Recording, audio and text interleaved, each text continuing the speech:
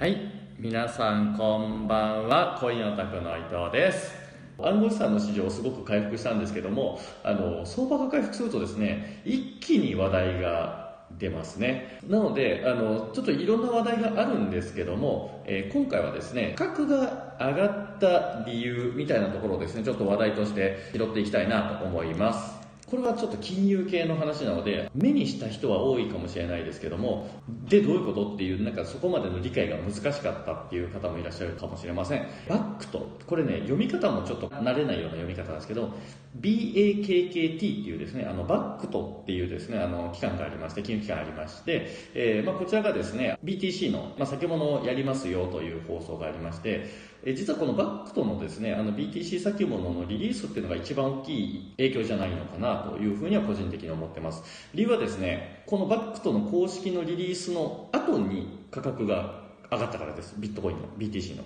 なので、まあ、これはかなりあの影響は大きいんじゃないかなと思います。ただあのネットを調べてもらうとですね、まあ、SNS とか調べてもらうと分かるんですけどもやったーみたいなですね、感想としてはですね、なんかすごい、すごいぞみたいなコメントがあるんですけど、え、で、なぜかみたいなものっていうのがあまりないんですね。で、なんでなの？っていうのは結構長文になります。結構長文になります。あの細かい話なんですけど、これ一番大事なのは、その、まあ、金融商品としてビットコインが認められたんだっていうものもそうなんですけども、BTC のですね、あの、実需要というものがありまして、要は、いくらビットコイン、ビットコインって法律で認められたりとかですね、まあ、ビットコイン決済をしますってなったとしても、あの、言っただけじゃダメなんですよね。なので例えば何か整備されただけじゃダメなんですよね。実際に使われなきゃダメな実際にこうビットコインを買うっていうことが起きないとダメなんです。で先物なので現物保有をしますね。現物保有を。じゃないといわゆるカバーができません。先物っていうのをスタートしました。どんどんみんなあの勝手にやってくださいじゃなくて先物のプラットフォーム